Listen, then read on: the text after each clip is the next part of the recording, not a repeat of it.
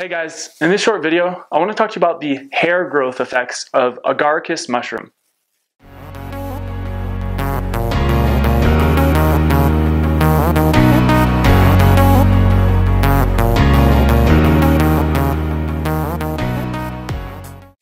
In Chinese medicine and herbalism in general, there are select few herbs that are famously used for their abilities to promote hair growth and correct hair loss. And in previous videos, we've talked about these herbs, mostly being Ho nettle, and gotu kola, amongst a few select others. But in this particular video, I want to expand the whole picture and subject of hair growth and hair loss and talk to you about one of the primary mechanisms behind agaricus mushroom's ability to actually promote hair growth. Now, what I think is really interesting about this video is that most medicinal mushrooms like agaricus mushroom aren't really recognized for their abilities to correct hair loss promote hair growth, which is probably the byproduct of the reductionist viewpoint that people have when it comes to hair loss or hair growth. They sort of separate it like dental health from the rest of your health. When the fact of the matter is, hair loss, like most other issues, have their roots in metabolic stress, oxidative stress, and inflammation. And agaricus mushroom just so happens to contain a very powerful antioxidant flavonoid that actually has been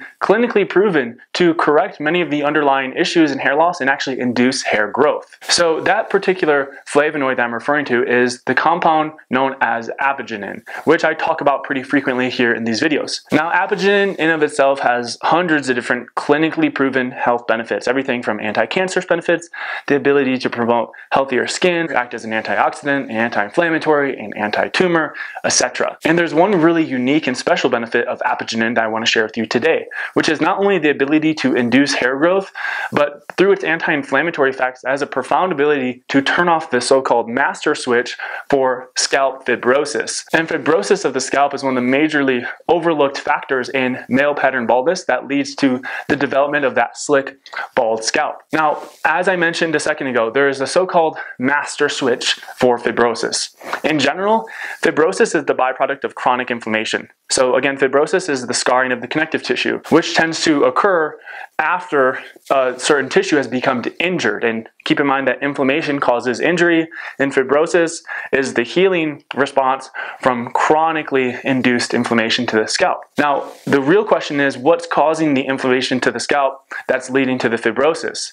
And at least according to clinical research, there is at least one major key player, a gene referred to as transforming growth factor beta 1, which has been literally referred to as the master switch or on switch for fibrosis. Now, according to my understanding in physiology, one of the major reasons that the transforming growth factor beta 1 becomes chronically produced, why there's chronic inflammation, is usually due to conditions like hypoxia, which is the oxygen deprivation of the cell, which is just one of the many symptoms of hypothyroidism. So when the thyroid's not working efficiently, proper energy metabolism uh, becomes impaired. That leads to oxidative stress.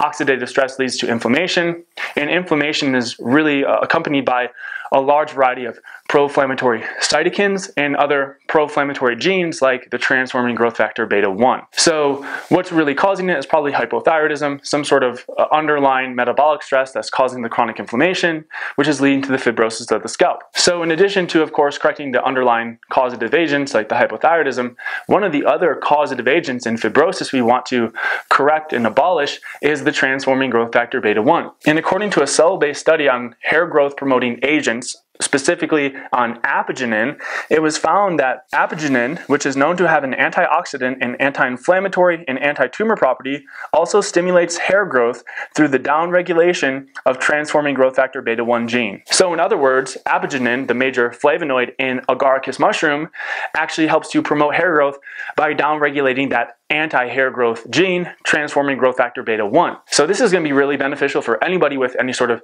uh, hair loss, but also particularly beneficial for anybody with fibrosis of the scalp. So anybody that might notice a more slick bald patches, or if you're noticing that your hair has just become thinner and no matter what you do dietary wise, no matter what you're doing to correct uh, the underlying stress in your body, one of the major reasons you might not be regrowing your hair at least is because the scalp tissue has become fibrotic. And apigenin is one of the few compounds that not only helps you inhibit fibrosis, but can potentially even reverse it and restore the natural functioning to the otherwise fibrotic tissue. So for anybody looking to improve the health of their hair struggling with any sort of hair loss, in addition to all of the other causative factors we have talked about in previous videos, one major causative agent for hair loss is the fibrosis of the scalp, and the supplementation of agaricus mushroom or apigenin in general can be a really helpful therapeutic agent for correcting this. However, that does bring this video to a close, so if you guys enjoyed it, found it helpful, be sure to give it a thumbs up, subscribe to the YouTube channel for future videos, and if you're interested in learning more about agaricus mushroom or possibly supplementing with it,